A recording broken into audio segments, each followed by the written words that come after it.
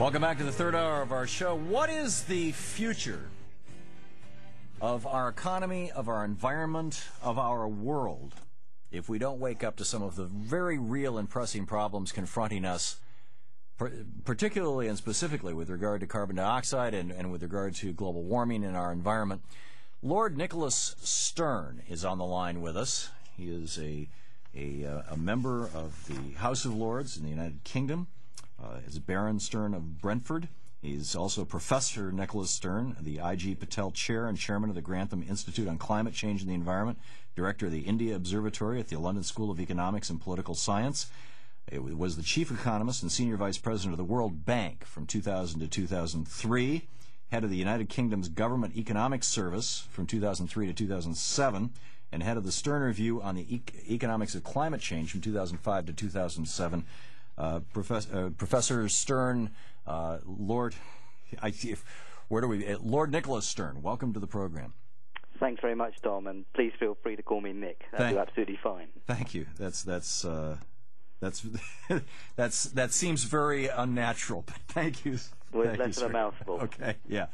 Uh, I remember when the Stern report came out in, as I recall, mid 2007 uh, and just created a, a, worldwide furor, certainly a furor in your country and ours, suggesting that if we looked at the cost benefit ratio between doing something about climate change now versus doing nothing, that doing nothing would be economically disastrous and stupid. Am I, uh, uh in, in my own way, doing a reasonable job of paraphrasing your report?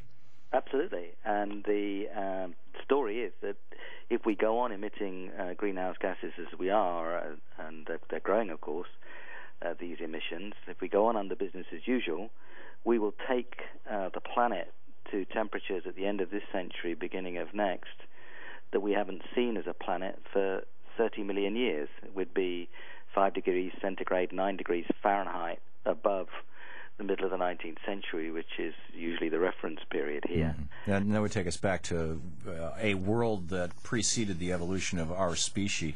But, Absolutely. we've, been, we've been around only 100,000 or so, maybe 200,000, depending on what you think is sapiens in Homo sapiens. But right.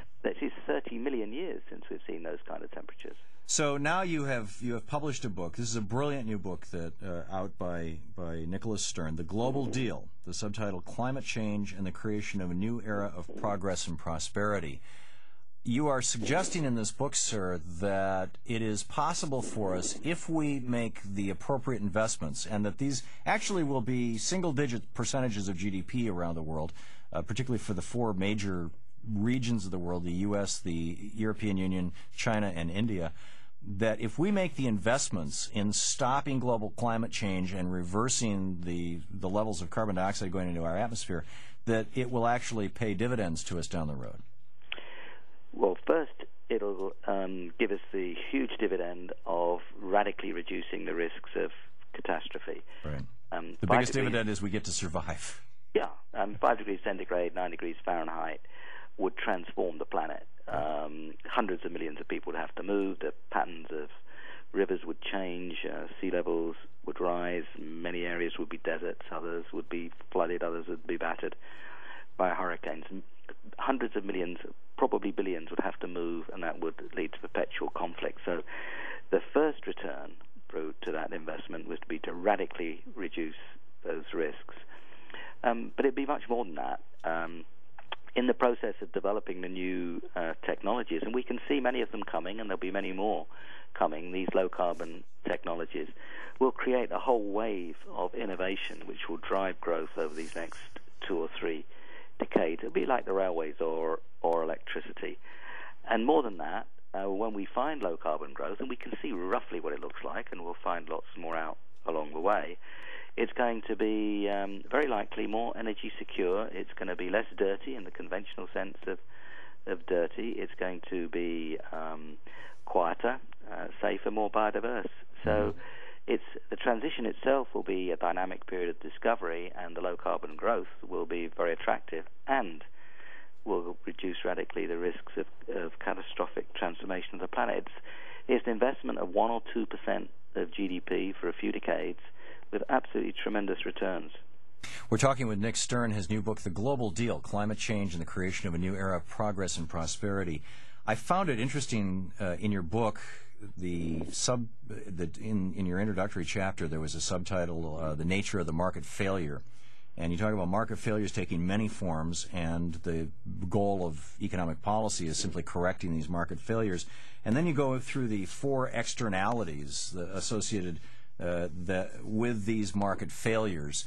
Um, in the in the three three and a half or four minutes or so that we have here, can you give us an overview of how we got into this mess in the first place and how that might illuminate how we get out of it? Well, markets fail if they don't give the right signals. Um, we rely on markets to allocate resources efficiently, so that if something is very costly, it's uh, to produce.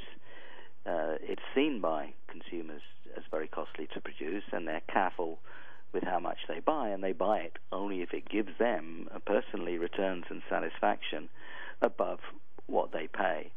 So it's terribly important that prices reflect costs, and if they don't reflect costs, they um, uh, the market is failing because it's giving a false signal. It's telling you that something is much cheaper in terms of uh, what goes into it than it really is. Mm. Now, if you don't pay for the damage you do uh, when you emit greenhouse gases, um, that is a market failure. It means that uh, you're getting something for free, which actually is uh, is seriously costly, right.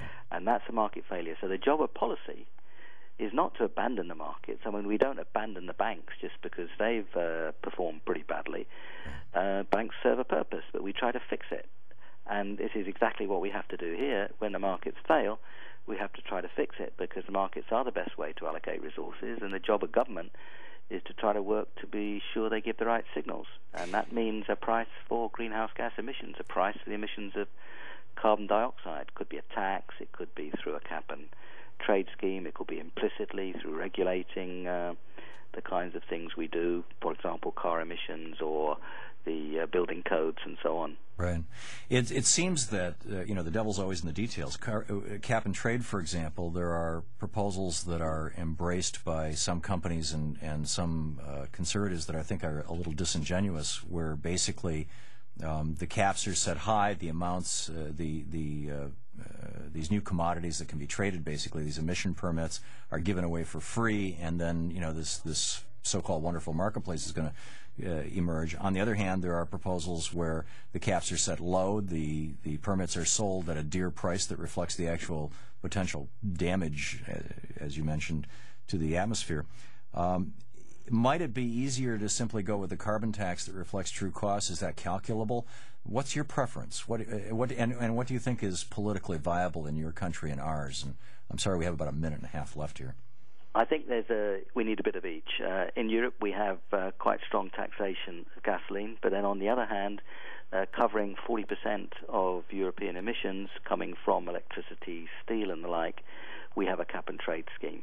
Mm-hmm. And uh, with a cap and trade scheme, you've got the advantage of knowing the amount of emissions you're going to allow. With a tax scheme, because of uncertainty, you're not quite sure. Um, taxes are, in some cases, more easy to administer than a cap and trade scheme. So there are pros and cons. Cap and trade allows us to seek out cheaper um, ways of cutting back on carbon uh, in other places.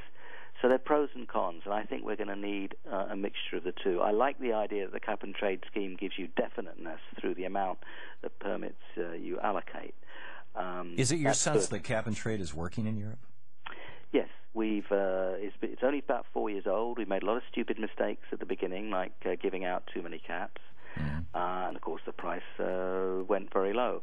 And we have to move to auctioning. I mean, we shouldn't give away the right to uh, emit these things. Uh, there's no God-given right to emit anything. Right. Um, there's an adjustment, of course. You have to get from where we are now to where we want to go. So some move towards auctioning at a, a reasonable pace is fair enough. But we have to be clear that the uh, objective should be uh, to auction 100%.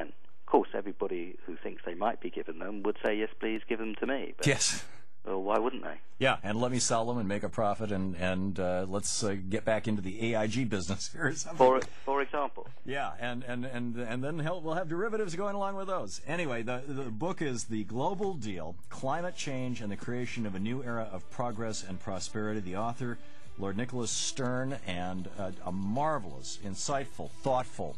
Uh, detailed look at the actual situation with regard to global climate change and carbon emissions in particular. I highly recommend it. Uh, Lord Stern, Nick, thank you so much for being with us. Pleasure to talk to you, Thom. Thank you very much. Thank you. Good talking with you. 16 minutes past the hour.